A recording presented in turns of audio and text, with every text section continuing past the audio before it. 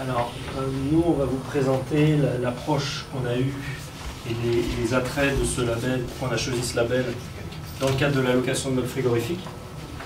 Donc, Olivier Dezas, qui est le directeur de l'activité, je vais lui laisser la parole pour vous présenter qu'est-ce que c'est que l'allocation de meubles frigorifiques, que vous compreniez le contexte. Et moi, j'entrerai un peu plus dans le détail technique. C'est avec ça. Je sais vous l'avez peut-être vu ce matin, je ne vais peut-être pas rappeler tous les chiffres, mais quelle est notre activité? C'est la location de meubles, trois types de contrats, de la longue, de la moyenne, de la courte durée. Le chiffre d'affaires, il est à peu près de 26 millions. On fait à peu près 60% sur de la courte durée. Donc c'est assez, assez compliqué à gérer. Je vais vous expliquer un mois. On peut partir sur une opération de produits. On va partir pour 10 jours. On va rentrer les meubles. On va repartir dans 3 jours après pour une opération boucherie. On va rentrer, on va partir pour une opération surgelée. Donc c'est qui qui nous demande ça Ce sont les industriels, la grande distribution, les enseignes qui nous préviennent. Les industriels font des opérations. Oh, il faut être présent. Donc on a 11 plateformes, 10 plateformes en France. On en ouvre deux, une à Nice et une à, du côté de Castelnaudary pour se rapprocher, pour être plus efficace, pour réduire nos coûts de transport et surtout, et surtout pour pouvoir raccourcir les, les délais de réponse. 90 000 expéditions, ça a l'air de rien, mais c'est énorme. C'est euh, 90 000 expéditions en mouvement, on peut parler de 145 000 mouvements dans l'année. Donc 200 personnes, on a à peu près euh, 100 150 personnes qui sont dédiées à la, production. Moi je suis rentré il y a 8 mois, je viens d'un autre milieu, je ne connaissais pas très bien, c'est vraiment parfois très compliqué au niveau des plateformes, c'est quelque chose de très intense. Après on fait de la moyenne durée, je vais vous donner un exemple. On a en moyenne durée, saison d'été, il y a des glaces, Mars, Unilever a on a pendant 3-4 mois des meubles qui sont dédiés, soit dans les stations-service, soit dans les hypermarchés, soit dans les supermarchés, dans les marchés, dédiés à des applications. Et la longue durée, mais la longue durée, ça peut être un partenariat avec un, industriel, ça peut être un partenariat avec, euh, aussi la grande distribution, ça peut être des remodeling, c'est-à-dire une refonte d'un magasin, et pendant un an, on va nous louer les meubles. Voilà. Donc c'est trois, trois longues durées.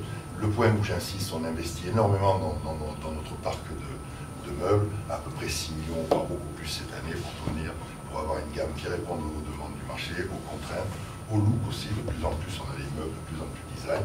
Et je crois que c'est pour ça qu'on a aussi euh, entamé la démarche Certicol pour pouvoir aussi être, je crois, le, le leader dans ce marché et se repositionner et, non, et maintenir notre position de leader. Voilà.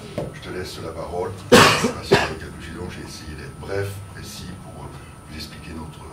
Donc ça vous donne le contexte de, l'activité meuble, de location de meubles.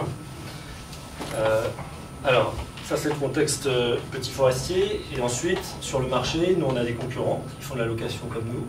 Et on a, et on sur le marché beaucoup de fabricants de meubles également. Je mets beaucoup, il y en a, en en, Europe, il y a plusieurs dizaines de fabricants de meubles. Il y a des très grosses sociétés et il y a des petits artisans. Donc sur le marché, on retrouve, on retrouve un peu tous les types de, meubles avec, euh, on imagine, des, qualités différentes, des, des méthodes de fabrication différentes. Euh, on en a parlé un petit peu ce matin, mais je vais rentrer un peu plus en détail. On parle d'un contexte réglementaire peu contraignant au niveau performance frais économie d'énergie. En particulier, je, je- un focus sur la partie location. Comme l'a expliqué Olivier, on a, on a beaucoup d'opérations sur de la location courte durée. En réalité, économie d'énergie sur des locations, on va faire sur deux semaines. On comprend que le client euh, final ne voit pas trop l'attrait qu'il peut, y avoir directement. Donc ce n'est pas forcément une demande qu'on a en direct. La partie performance froid, pour nous, même si on loue euh, des, produits pour deux semaines, elle est tout aussi importante que si on loue, on, euh, a des, meubles qui restent toute une année sur des, points de vente. Donc on se retrouve face à, nous, on retrouve des fois des artisans, on retrouve des gens qui euh, se de- d'utiliser la norme ISO 23953 dont a parlé, euh, dont a parlé Ibrahim pour qualifier leurs meubles, pour faire la conception et valider une conception. Et puis en réalité, on, se rend compte que je pense qu'à peu près 20% des fabricants en Europe utilisent vraiment, ont vraiment des chambres de test aux normes et sont capables de se, de, se targuer, de mettre euh, qu'ils ont respecté la norme pour qualifier leurs meubles. Après, il y a des fabricants qui peuvent faire appel à des, des organismes extérieurs. Alors le, le apportant plus une, logique de labellisation, donc plus que simplement le test. Et le, troisième point, c'est fait le constat d'un manque de lisibilité de la performance froide des meubles. Nous, on le fait d'autant plus qu'on a énormément d'expéditions de meubles, 90 000, ça veut dire qu'on a potentiellement 90 000 opérations qui démarrent, avec un manque de lisibilité pour le client final de la performance froide et donc, et donc dans ce, contexte-là, on cherche à se démarquer, évidemment à mettre en avant nos atouts. Comme vous l'avez dit, on est adossé au groupe Petit Forestier, donc on a une capacité d'investissement assez forte qui nous permet d'avoir des meubles de bonne qualité. Maintenant, il faut pouvoir mettre ça en avant. C'est quand même une, démarche importante. Sinon, ça ne sert à rien de le faire. Donc, euh, la performance de nos meubles frigorifiques que l'on considère comme supérieure à la moyenne, on a ciblé, euh, on en parlera à la fin, on a ciblé une gamme qu'on a proposée au label.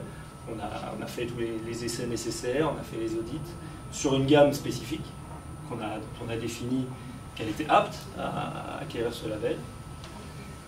Et ensuite, il y a une partie importante dont tu n'as pas parlé, Ibrahim, sur le label. Il y a euh, une partie euh, qui va venir valider, ou en tout cas auditer, le savoir-faire des équipes techniques euh, dans le cadre de la location. C'est les gens qui vont réparer les meubles, qui vont vérifier les meubles au retour de location et qui vont garantir que le meuble qui va être livré au client d'après est en, état de fonctionner dans les performances pour lesquelles on le, le et le deuxième point, qui est une conséquence directe du, manque de contexte réglementaire, est l'idée d'avoir une reconnaissance d'un expert indépendant et reconnu, en l'occurrence au SEMAFROID, avec des laboratoires que vous avez vus qui sont des, investissements très importants. On comprend que tous les petits fabricants de meubles ne peuvent pas avoir des, équipements comme ça, et, euh, donc un, laboratoire à crédit COFRAC.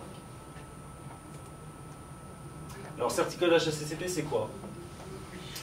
Euh, c'est un label européen de conformité pour les équipements de la chaîne du froid des produits alimentaires.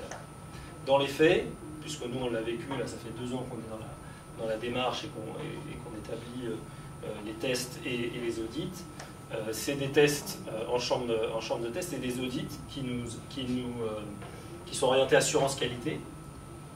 Il y a un audit par an qui se fait chez le fabricant du meuble. Le but est de labelliser le meuble neuf et ensuite des audits euh, annuels également dans les plateformes qui sont chargées de l'entretien du meuble. Donc il y a vraiment cette notion de, contrôler également comment le meuble il va vieillir et comment est-ce que nous on va l'entretenir.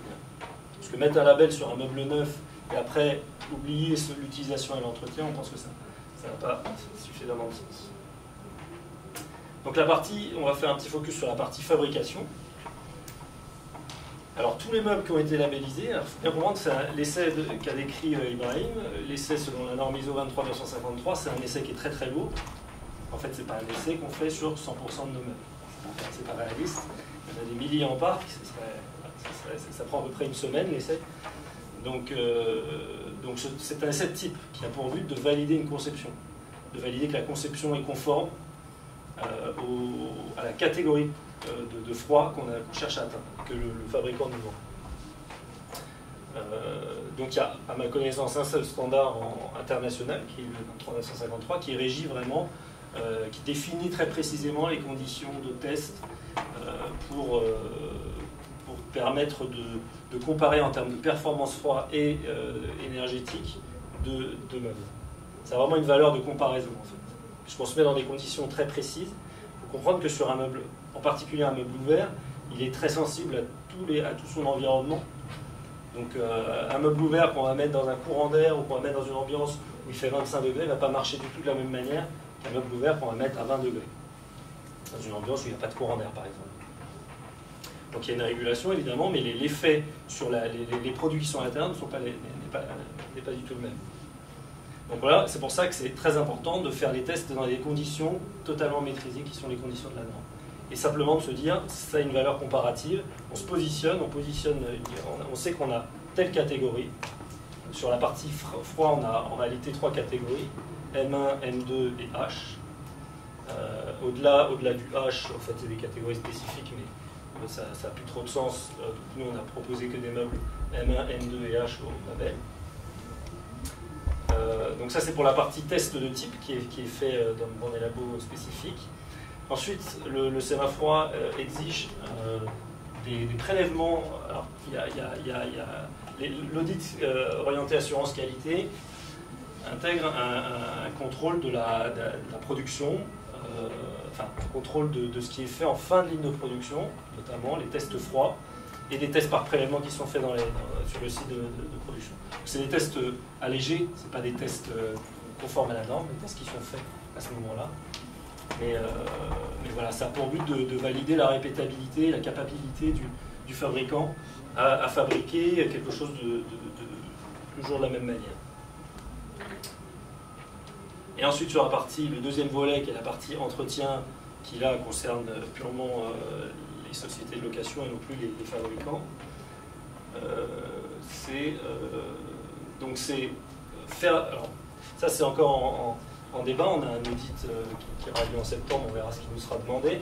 En tout cas, il y a la nécessité de faire systématiquement un test froid en retour de, location pour préparer le meuble avant de l'envoyer chez le client. Après, comment est-ce qu'on définit ce test froid? Donc là, c'est pareil, il y a deux niveaux. Il y a, un, premier niveau qui est ce qu'on a toujours fait, qui est un test assez basique qui dure 3 heures. On attend un dégivrage, on regarde si ça fonctionne correctement. Euh, et, pour labelliser tout notre parc, on a dû mettre au point une procédure plus poussée, euh, avec des enregistrements de température. Et en fait, on a fait, une proposition au sémafroid qui a été validée assez récemment, finalement, de, corrélation.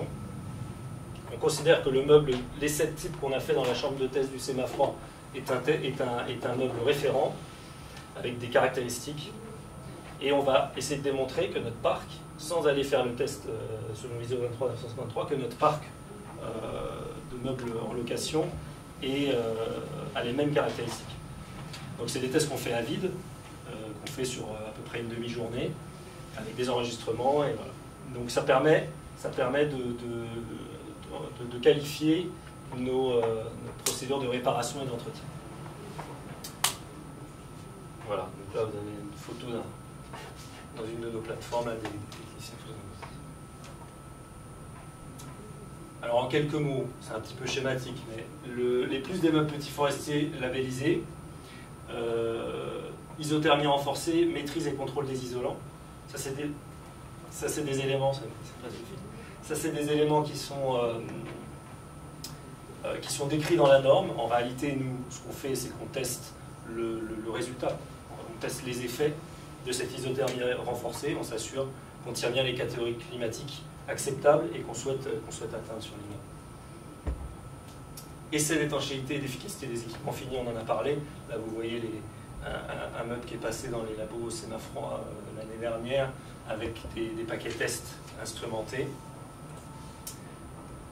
Euh, Ibrahim en a parlé de la partie nettoyabilité de surface des bacs, euh, qui est décrite également dans la norme.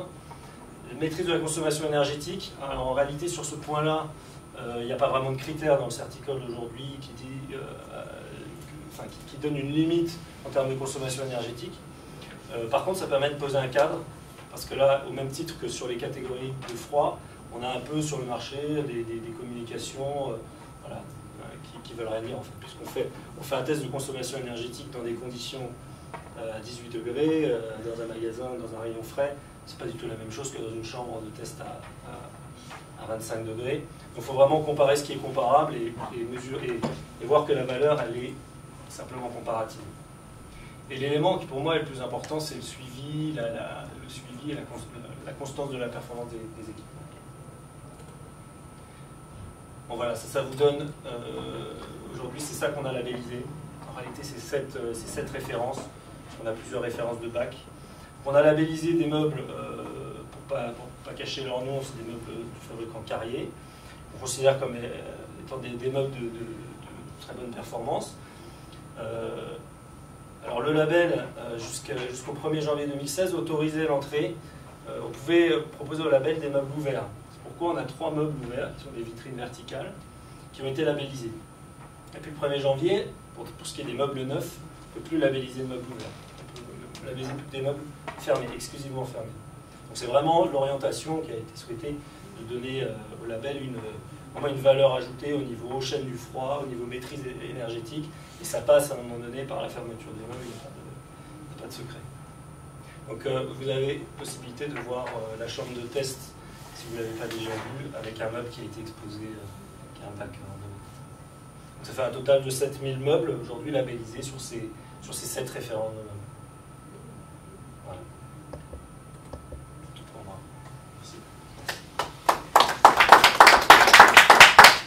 des questions. Vous étiez sûr d'avoir fait cette démarche J'espère qu'on ne sera pas les seuls, mais on est les premiers. On est les premiers, oui.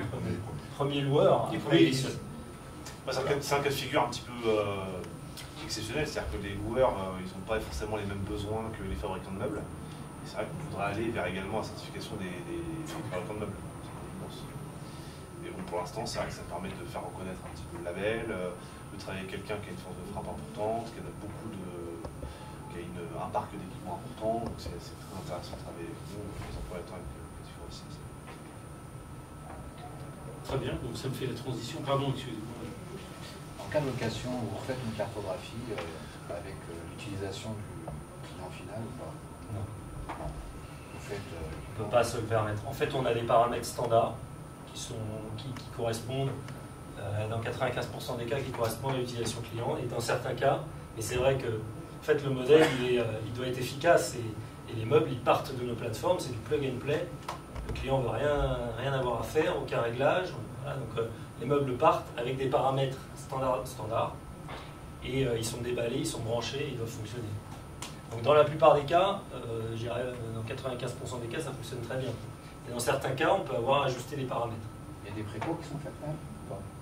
Alors il y a des précaux d'utilisation, on a, un- on a dans, dans tous les, dans, dans tous les meubles, en fait, on a des précaux d'installation et d'utilisation qui reprennent les éléments dont on a un petit peu parlé, qui sont euh, attention au, au- au confinement des condenseurs, partie basse, euh, attention au positionnement euh, dans les courants d'air, attention également aux catégories de, euh, ambiantes, de température ambiante, puisque voilà, les limites de chargement évidemment.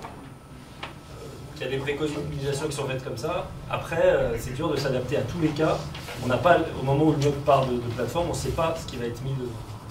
Après, il y, a un- travail en amont par notre, service commercial de communication. Il y a des meubles qui ne sont pas faits pour les mettre certains produits. Euh. Les meubles Certicol, c'est des meubles c'est une gamme. C'est pas par hasard qu'on a choisi cette gamme. C'est une gamme déjà qui représente beaucoup de meubles dans notre parc. C'est une gamme qui est très polyvalente. C'est une gamme qui, est un bon compromis entre consommation énergétique, performance froid, avoir quand même de la visibilité produit. On a des meubles, c'est des meubles de vente, donc euh, on garde tous ces, critères-là. Mais c'est des meubles qui sont, euh, une performance froid qui est très satisfaisante.